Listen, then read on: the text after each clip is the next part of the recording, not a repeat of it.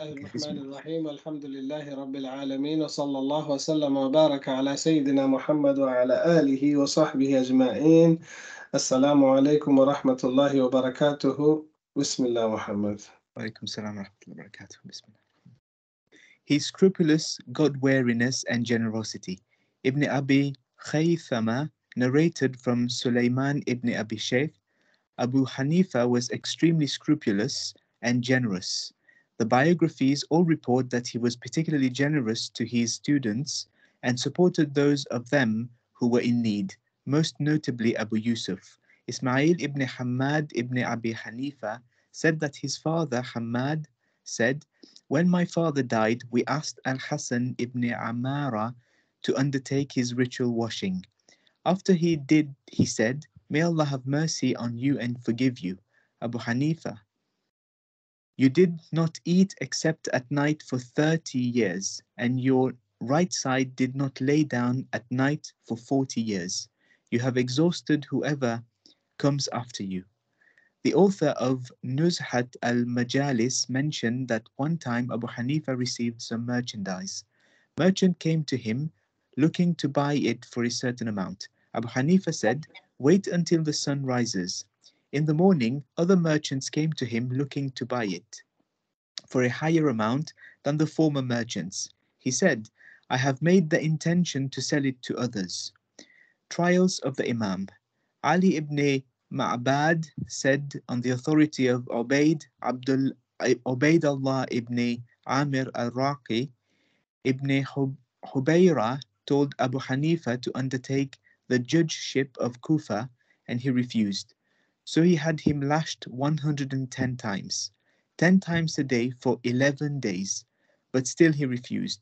When he saw this, he let him go. Sheikh Wahbi Jawzi mentioned in his biography of Abu Hanifa that the Imam underwent four fitnas. The first and second were with the Khawarij, the third with the governor of uh, Governor Ibn Hubayra in 130, and the fourth with Abu Ja'far al-Mansur, who imprisoned and tortured him, then released him under house arrest until his death in Baghdad. His incessant worship and nickname of Pillar.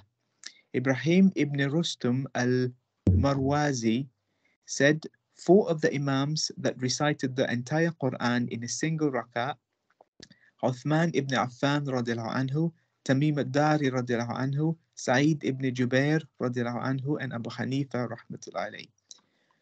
Among those who completed a khatma in every 24 hours were Mujahid, the great Quranic commentator, Ali ibn Abdullah al-Bariqi al-Azdi, Sa'id Sa'ad ibn Ibrahim ibn Abdurrahman ibn Auf al-Zuhri, Habib ibn Abi Thabit, the Tabi'i, the Sufi Sheikh ibn Khafif al-Shirazi, and others. Like the two Imam, like the two Imams al-Bukhari and al-Shafi'i, Abu Hanifa reportedly made 60 complete recitations of the Quran every Ramadan, one in the day and one in the night, besides his teaching and other duties. Al-Nawawi in At-Tibyan fi Adab Hamalat al-Quran cites among those who completed three or four khatmas every day and or night were Sulaim ibn Itr, the Qadi of Cairo under uh, Muawiyah, as narrated respectively by Ibn Abi Dawud and Abu Umar al-Kindi and Abu al-Mughira Mansur ibn Zadhan al-Wasiti, died 131, while Ibn al-Katib Abu, Abu Ali al-Hussein or al-Hassan ibn Ahmad, died 340, is reported to have completed eight khatmas in every 24 hours, four in the day and four at night. And this is the most that was ever reported. Ibn Mubarak said Abu Hanifa for a long period prayed all five prayers with a single ablution. It is also reported that he prayed the dawn prayer with the same ablution as the night prayer for over 40 years, as did Malik, Sulaiman ibn Tarkhan al-Taymi, and others. As, as Suyuti relates in The الله of محمد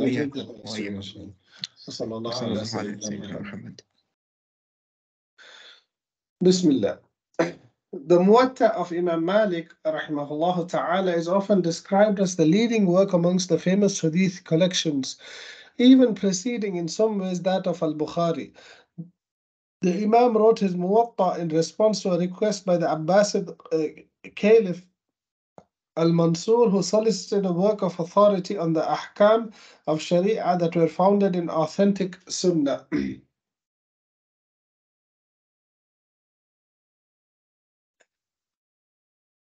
The Imam revised and consolidated his work many times, and it is said to have taken him 40 years to complete. The classification of its contents are organized in an, or, in an order that is typical of the works of fiqh, which is why it is sometimes identified both as a, as a, as a work both of fiqh and hadith.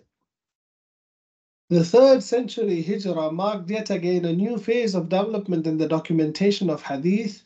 One of the distinctive features of the writings of this period was to isolate the Sunnah of the Prophet وسلم, from the sayings of the companions radiallahu anhum and the fatawas of the learned figures amongst the followers rahimahu, rahimahumullah ta'ala.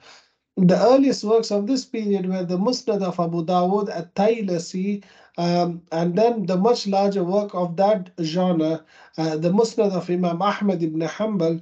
Uh, hadith writers during the third century, on the whole, observed the principles of Usul al Hadith that had already gained recognition, and the methodological guidelines that were developed were consequently put into effect.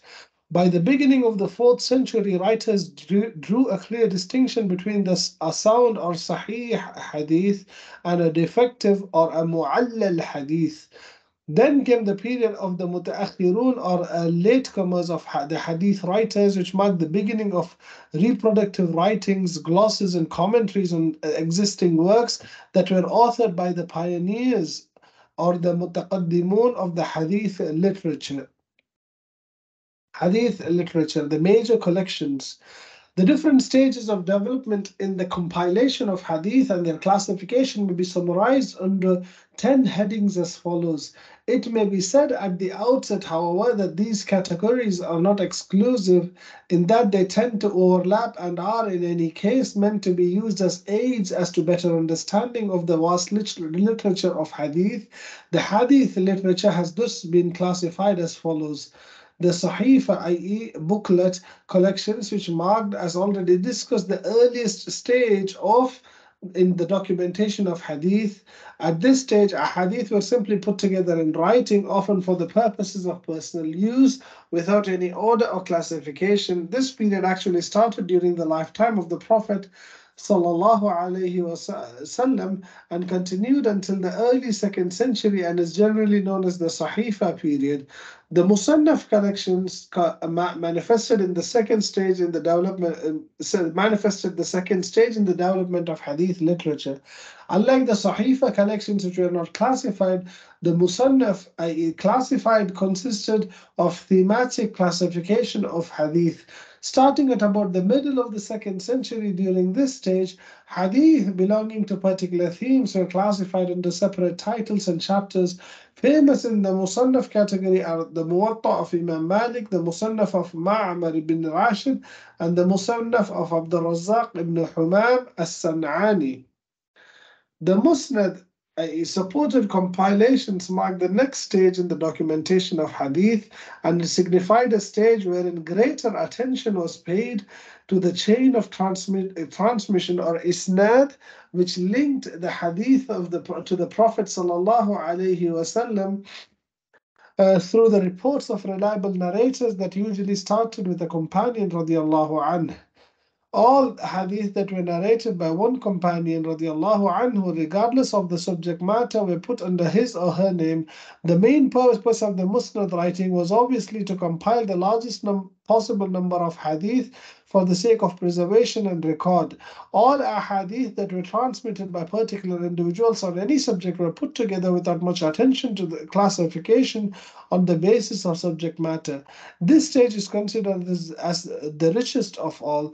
It began during the later half of the second century and famous in this category was the Musnad of Imam Ahmad ibn Hanbal, which contains 40,000 ahadith, including 10,000 repetitions reported by about 700 companions. It was derived from a much larger mass of 750,000 ahadith, and it took the Imam some 20 years to compile. Even then, the work was unconsolidated and in separate parts until the Imam's son Abdullah consolidated the work, to which he also added some of his own findings. The other works in this category are the Musnad of Ibn al-Najjar and the Musnad of Abu Dawood, Sulaiman bin Dawood al-Taylasi, and many others. وصلى الله على سيدنا محمد بسم الله Here we can distinguish the following steps which led to the preparation of the Suhuf. Zayd was introduced by Abu Bakr radiallahu anhu to instructed it, uh, Zayd was instructed by Abu Bakr radiallahu anhu to collect the Quran. Zayd collected it from various written material and the memories of people. The sheets thus prepared were kept with Abu Bakr radiallahu anhu, then Umar radiallahu anhu, then Hafsa radiallahu anha the Masahif of the companions. There are numerous indications in the literature of hadith that several of the companions of the Prophet ﷺ had prepared their own written collections of the revelations. The best known among these are from Ibn Mas'ud anhu, Ubayy bin Ka'b anhu, and Zayd bin Thabit anhu.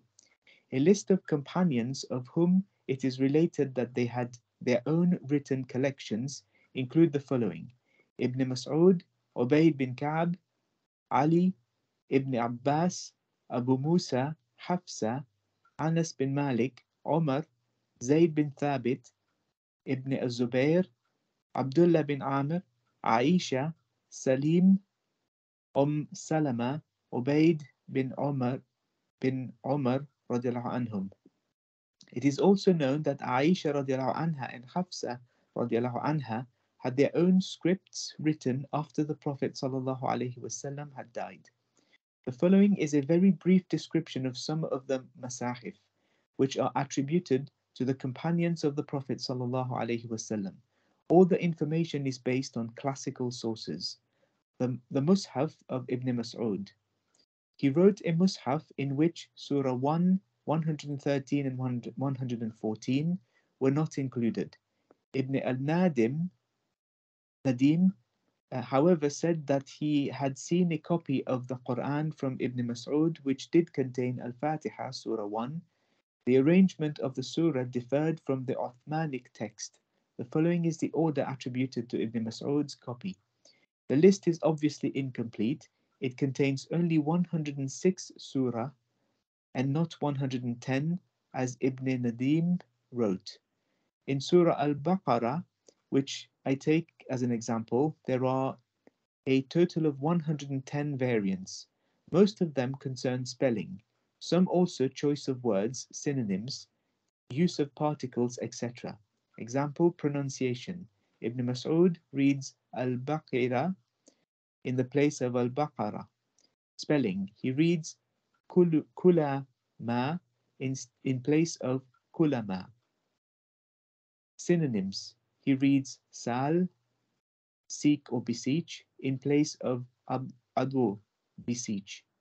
Assuming that all these are reliable reports, the copy of Ibn Mas'ud anhu would then have been prepared for his personal use and written before all 114 surah were revealed. Nadim, who, who lived in the 10th century, 4th century Hijrah, also added, I have seen a number of the Quran, of Quranic manuscripts which the transcribers recorded as manuscripts of Ibn Mas'ud anhu. No two of the Quranic copies were in agreement and most of them were on badly effaced parchment. This note indicates that the question of authentic manuscripts of Ibn Mas'ud anhu needs to be treated with some caution. The Mus'haf of Ubayy bin Ka'b. He wrote a Mus'haf in which two additional surah and another additional ayah were reportedly found. The order of the surah is again different from Uthman anhu as well as Ibn Mas'ud anhu. The following is the order of surah in the copy attributed to Ubayy bin Ka'ab anhu. Again, as in the case of Ibn Mas'ud anhu, above this list is incomplete and does not contain all 114 surah of the Quran. Ubay has a total of 93 variants in Surah Al-Baqarah. Very often, his readings are similar to those of, of Ibn Mas'ud radiallahu anhu. For example, he reads Al-Baqarah in 270 as Al-Baqirah. So does Ibn Mas'ud radiallahu anhu. جزاك الله خيرا محمد وصلى الله على سيدنا محمد. والسلام عليكم ورحمة الله وبركاته. salam wa rahmatullahi wa barakatuh. I'm going to leave now.